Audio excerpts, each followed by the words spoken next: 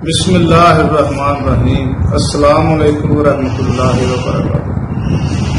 ناظرین، میں ایک مرتبہ پھر حکیم خالد ہرپر کلینک کی جانب سے آپ کی خدمت میں حاضر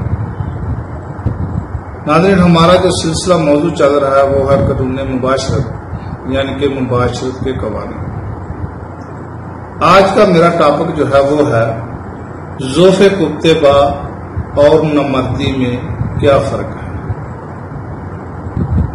اس کی تفسیر میں آج آپ کو بتاؤں گا اور یہ بھی بتاؤں گا کہ اس کے علاج کے لیے کیا کرنا چاہیے اور جو طبیب ہیں وہ اس کے لیے کیا کرتے ہیں اور جو اپنی قوت کو زیادہ بڑھانے کے چکر میں کیا کرتے ہیں یعنی ساری آج میں آپ کو خدمت میں گوشت گزار کروں گا تاکہ آپ کو اس سے آگاہی حاصل ہو جائے۔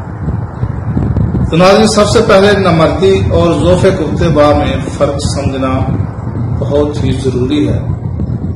اور کچھ لوگ اس کو ذوف کفتے با اور نمردی کو ایک ہی مرض سمجھتے ہیں۔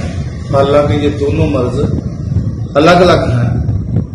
نمردی سے مراد وہ حالت ہے جس میں وظیفہ مخصوص یعنی کہ جمع ادا نہ کیا جا سکتا۔ یہ ہے تعریف نمردی کی جی۔ نمرد جو آدمی ہوتا ہے وہ بالکل وظیفہ زوجیت ادا نہیں کر سکتا اور جو زوف کفتے با ہے یعنی کہ جس کو ہم مردانہ کمزوری کہتے ہیں، اس میں مردانہ کمزوری سے مراد وہ حالت ہے جس میں وظیفہ مخصوص یعنی کہ زبان ناقص صورتوں میں ادا کیا جاتا۔ ہے یعنی کہ نامردی اور مردانہ کمزوری یہ دونوں میں فرق ہے۔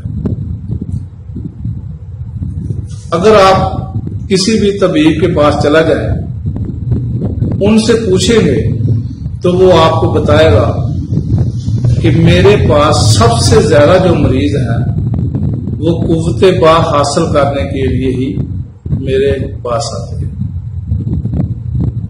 یعنی کہ جس قدر کسی اور مرض کے مریض اس کے پاس نہیں ہوتے، سب سے زیادہ اگر حکیموں کے پاس مرض، مریض آتے ہیں، تو وہ انہی امراض کے آتے ہیں۔ اور ان کے ساتھ ساتھ وہ امراض بھی شامل ہیں۔ یعنی کہ احتلام جریان زکات حص صورت امزاد یہ تمام امراض، مردانہ امراض میں ہی شامل ہیں۔ اور حکیموں کے پاس سب سے زیادہ جو مریض آتے ہیں، انہی امراض کے آتے ہیں۔ پھر نیم حکیم حضرات ایک ہی نسخے سے مختلف مزاج اور مختلف اسباب کے مریضوں کا علاج کرنا چاہتے ہیں، جو ایک ناممکن سی بات ہے۔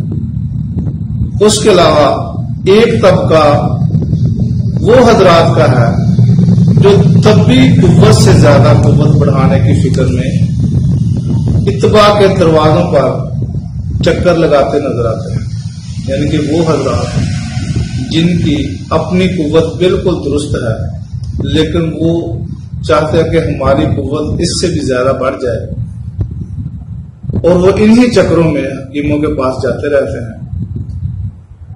اور محرک ادویات کھا کھا کر اپنی طبی قوت کو خراب کر کے بلا آخر مردانہ کمزوری کی شکایت میں مبتلا ہو جاتے ہیں۔ یعنی کہ ذوف با میں وہ اشخاص بھی اس میں شامل ہو جاتے ہیں جن کی قوت با بالکل درست ہوتی ہے۔ وہ چاہتے ہیں کہ میری قوت با اس سے بھی زیادہ ہو۔ مریضوں کے لیے نہایت ضروری ہے اور مفید مشورہ یہ ہے کہ جب کسی تجربہ کار مسترد حکیم سے رجوع کریں تو ان کی تجویز کے مطابق دعا استعمال کریں۔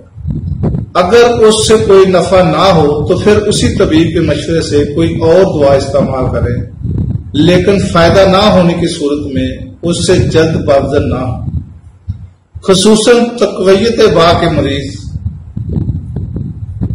اپنے علاج کے لیے کیونکہ یہ مرض اپنی نوعیت کے لحاظ سے بہت اہم اور مشکل ہے۔ اس کے اسباب ازائد رئیسہ اور شریفہ کی کتوں پر اثر ڈال کر قوت عامہ کو خراب کر دیتے ہیں اور قوت عامہ کی بحالی بغیر صحت عامہ کی بحالی کے ناممکن ہے، جو جلد حاصل نہیں ہو سکتی۔ اس مرض کے علاج میں ناکامی کے دو سبب ہوتے ہیں۔ اول مریض کی جلد بازی۔ وہ چاہتا ہے کہ مجھے بہت جلد فائدہ ہو۔ دوسرے ناحق طبیبوں کا خلق اللہ کو دھوکہ دینا یعنی کہ اللہ کی مخلوق کو دھوکہ دینا۔ یعنی کہ ایک تو مریض چاہتا کہ مجھے بہت جلد فائدہ ہو۔ دوسرا، کچھ نا اہل نا تجربہ کار، عطائی حکیم جو ہے، وہ نا علم رکھنے کی وجہ سے ناقص ماؤں سے علاج کرتے ہیں، جس کی وجہ سے مریض کو کوئی خاطر کا فائدہ نہیں ہوتا۔ اور وہ مریض جو جلدی اپنا علاج کرانا چاہتے ہیں، وہ بھی اپنی مرض کو بڑھا لیتے ہیں۔